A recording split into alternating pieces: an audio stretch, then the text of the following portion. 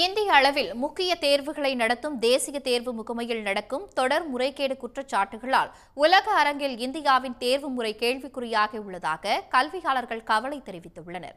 முறைகேடுகளால் வெளிநாடுகளில் படிக்கச் செல்லும் மாணவர்கள் பாதிக்கப்பட உள்ளதாகவும் அவர்கள் கூறுகின்றனர். இதுகுறித்து விளக்குகிறது இந்த செய்தி தொகுப்பு.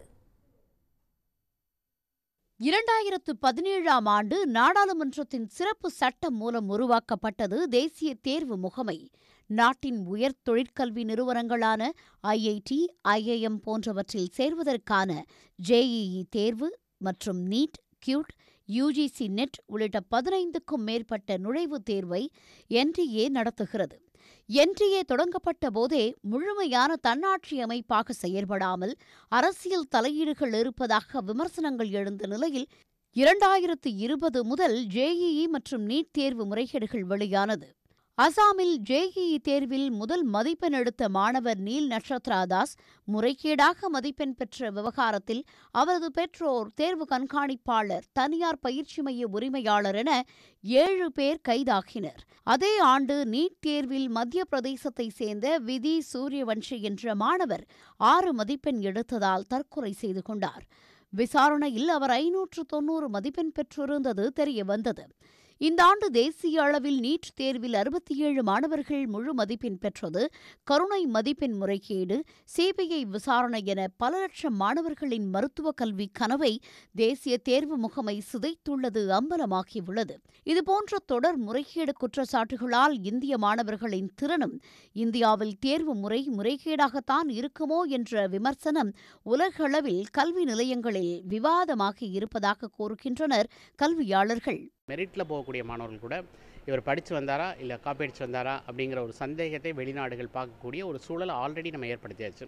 இதுக்கப்புறம் நீங்கள் என்ன தான் நீங்கள் வந்து ஒரு புது மெஷர் க்ரியேட் பண்ணி நாங்கள் இப்படி பண்ணுறோம் அப்படி பண்ணுறோம்னு சொன்னால் கூட இதை நீங்கள் வந்து நிவர்த்தி பண்ணணும் அப்படின்னா எனக்கு தெரிஞ்சு ஒரே ஒரு இது என்டி அபாலிஷ் பண்ணணும் இது வந்து தேர் அன்ஃபிட் டு பி இது வந்து நீட்டை நீங்கள் கேன்சல் பண்ணணும். அந்தந்த ஸ்டேட்டுக்கு அவங்கவுங்கள வந்து விட்டுறணும். ஏன்னா சரி இப்போ ப்ராக்சிமிட்டி தமிழ்நாடுக்குள்ளே நீங்கள் என்னென்ன பண்ணுமோ அதை வந்து பண்ணுறது ரொம்ப ஈஸி இல்லை வேறு ஒரு ஸ்டேட்னா அவங்களுக்கு ஈஸி பட் நான் டெல்லியிலேருந்து நான் இதெல்லாம் கரெக்டாக பண்ணுவேன் அப்படிங்கிற பேரில் வந்து சதர்ன் ஸ்டேட்ஸை மட்டும் நம்ம பயங்கரமாக வந்து கண்ட்ரோல் பண்ணிவிட்டு பட் அந்த நெக்ஸஸ் வந்து இன்றைக்கி எப்படின்னா இன்ஃபர்மேஷன் கம்யூனிகேஷன் காப்பி அடிக்கிறது இன்ஃபர்மேஷன் போகிறது அப்படிங்கிறது இன்றைக்கி இருக்கிற தொழில்நுட்ப வசதிகளில் நீங்கள் ஃப்ளிப் செகண்டில் இந்தியா முழுவதும் நீங்கள் வந்து அனுப்பிடலாம்.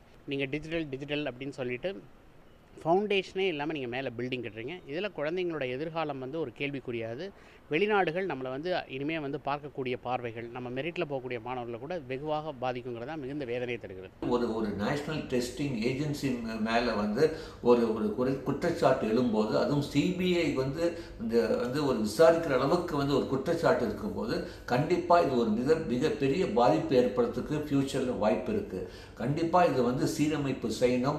வெளிப்படைத்தன்மை கொண்டு வரணும். அப்போ தான் மாணவர்களுக்கும் பெற்றோருக்கும் ஏன் இந்த மாதிரி முறைகேடுகள் நடந்திருக்கு? ஃப்யூச்சரில் நடக்காமல் இருக்கிறதுக்கு தீவிர விசாரணை செய்து தீவிர நடவடிக்கை எடுக்கணும் அப்படின்னு தான் எங்கள் மாதிரி கல்வியாளர்களுடைய வேண்டுகோள். தமிழ்நாட்டில் தொடங்கப்பட்ட நீட் ஒழிப்பு குரல் தற்போது நாடு முழுவதும் பரவியுள்ள நிலையில் பேன் நீட் ஹேஷ்டாக் சமூக வலைதளங்களில் மாணவர்களாலும் பெற்றோர்களாலும் வலியுறுத்தப்படுகிறது. மாணவர் சேர்க்கை நுழைவுத் தேர்வு என்பது அந்தந்த மாநில அரசின் முடிவுகளோடு இருந்தால் தரமான கல்வியை வழங்க முடியும் என்று தெரிவிக்கின்றனர் கல்வியாளர்கள். உடனுக்குடன் செய்திகளை தெரிந்து கொள்ள சன் நியூஸ் பெல் கிளிக் பண்ணுங்க.